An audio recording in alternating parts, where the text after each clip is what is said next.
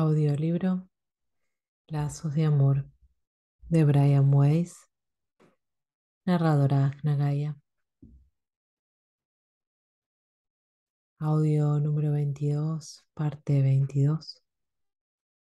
Léeme, oh lector, si en mí encuentras deleite, porque raras veces regresaré de nuevo a este mundo. Leonardo da Vinci. Afortunadamente, alguna mente más creativa que la mía estaba maquinando desde las más elevadas alturas un encuentro entre Elizabeth y Pedro. La reunión estaba predestinada. Lo que sucediera después era asunto de ellos dos. Pedro partía hacia Nueva York de viaje de negocios. Después tenía que ir a Londres donde se quedaría dos semanas por asuntos de trabajo y aprovecharía para tomarse unas vacaciones antes de regresar a México. Elizabeth, por su parte, se dirigía a Boston para acudir a una reunión de negocios y también para visitar a una compañera de la universidad. Iban a volar con la misma compañía, pero en distintos aviones. Cuando Elizabeth llegó a la puerta de embarque del aeropuerto, se dio cuenta de que habían cancelado su vuelo a causa de una avería técnica. El destino había empezado a trabajar. Estaba disgustada. Llamó a su amiga y cambió de planes. Podía tomar un avión con destino a Newark y después volar en el puente aéreo hasta Boston a primera hora de la mañana. Tenía una importante reunión de negocios a la que no podía faltar. Estos nuevos planes lo obligaron a volar en el mismo avión que Pedro. Él estaba en el aeropuerto esperando a que anunciaran su vuelo cuando descubrió a Elizabeth. Observó por el rabillo del ojo cómo ella entregaba su tarjeta de embarque en el mostrador y se sentaba en la sala de espera. Pedro tenía puesta toda su atención en ella, recordaba sus encuentros fugaces en la sala de mi consulta. De repente le invadió un interés y un sentimiento de familiaridad estremecedor. Tenía los ojos y la mente clavados en ella mientras Elizabeth abría un libro. No dejaba de contemplarla. Observaba su cabello, sus manos, sus movimientos y la postura en que estaba sentada. Cada detalle le resultaba absolutamente familiar. La había visto brevemente en la sala de espera de mi consulta, pero ¿qué se debía a tal grado de familiaridad? Debían de haberse conocido antes de que se produjera aquellos breves encuentros. Se estrujaba el cerebro para averiguar cuándo podía haber sido. Ella se sentía observada, pero lo ocurría muy a menudo. Intentó concentrarse en la lectura.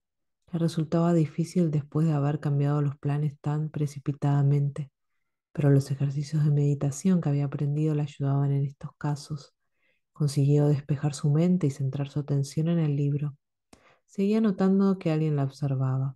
Levantó la cabeza y vio que Pedro la miraba fijamente. Primero frunció el ceño y tras reconocerlo, le sonrió.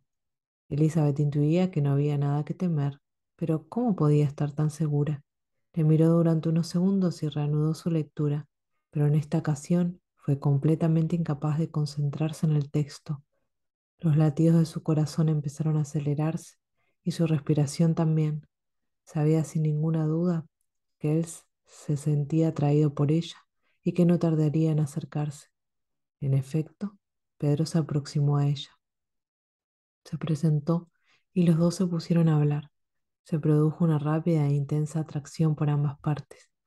En cuestión de unos minutos, Pedro propuso a Elizabeth que cambiaran los asientos para estar juntos durante el vuelo.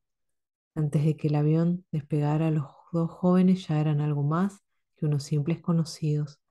A Elizabeth Pedro le resultaba muy familiar. Ella sabía exactamente cómo movimientos iba a hacer su compañero en cada momento que le iba a decir, etc. Elizabeth de pequeña tenía mucha intuición.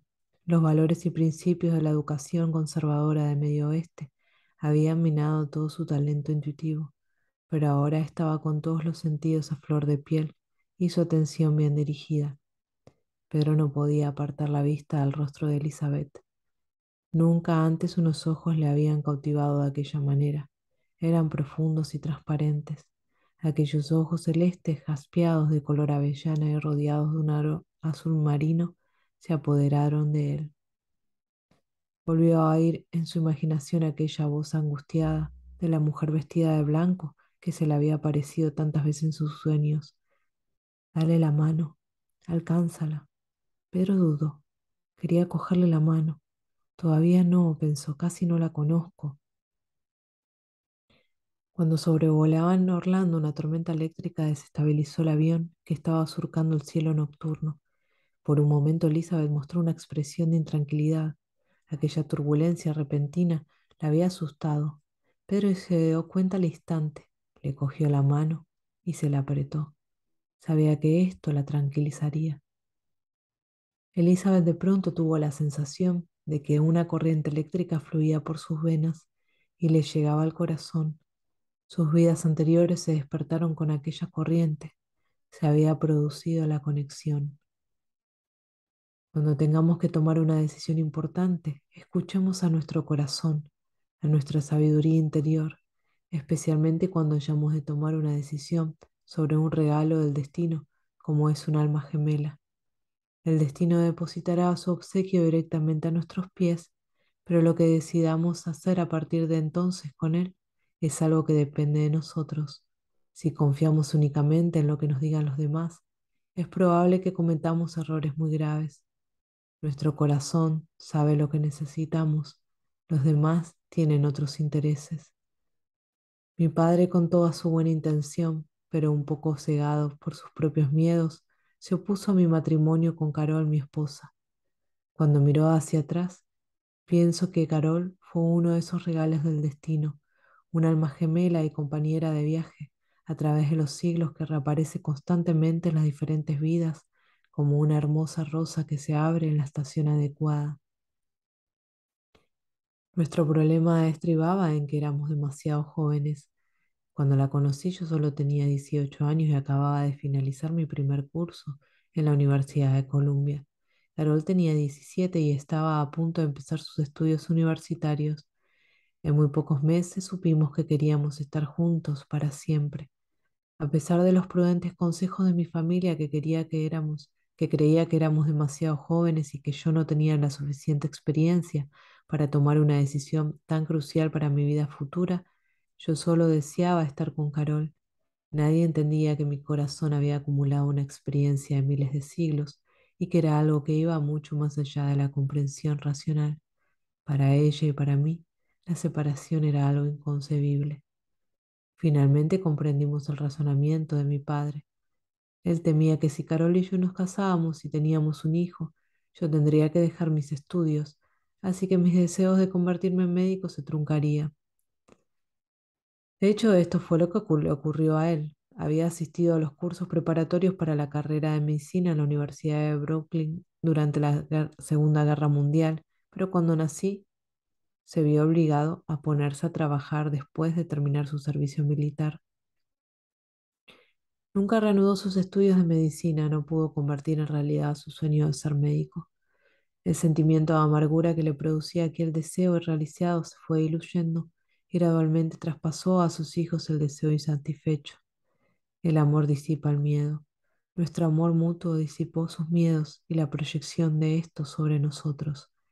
Finalmente nos casamos. Después de mi primer año en la Facultad de Medicina, cuando Carol se graduó, mi padre la quiso como a una hija y bendijo nuestro patrimonio.